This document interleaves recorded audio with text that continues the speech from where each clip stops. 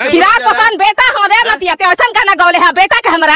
अपन माई बहने के दे दे चिराग पासवान रख। मैं आरा एसपी से मैं कहना चाहता हूँ कि वो अरेस्ट करके जेल भेजे। गाना गा रहा है कि चिराग पासवान चोली बेचेंगे और लालू यादव पसंद करेंगे।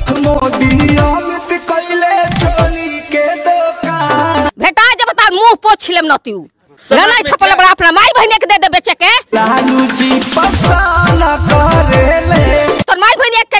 के कहे ना गौले है रे अपना माई के अपना बेटी के अपना बहन के। तो जी हाँ दोस्तों जब से प्रमोद प्रेमी यादव चिराग पासवान और मायावती जी का नाम लेकर के गाना गाए हैं तब से पासवान समाज और बहुजन समाज के अंदर आक्रोश है। लोग जगह जगह पे प्रमोद प्रेमी के गाने का पुरजोर विरोध कर रहे हैं। तोर धियावा पेन है, तोरा माई का पेन है, तोरा बहिनिया का पेन है। खैर दोस्तों, आप लोगों को क्या लगता है कि प्रमोद प्रेमी यादव का गाना सही है या गलत? अपनी राय कमेंट बॉक्स में लिख करके ज़रूर बताइएगा। और इस इंटरव्यू को पूरा फुल देखना चाहते हैं तो Krishna allrounder news YouTube channel पे जाकर के देख सकते हैं।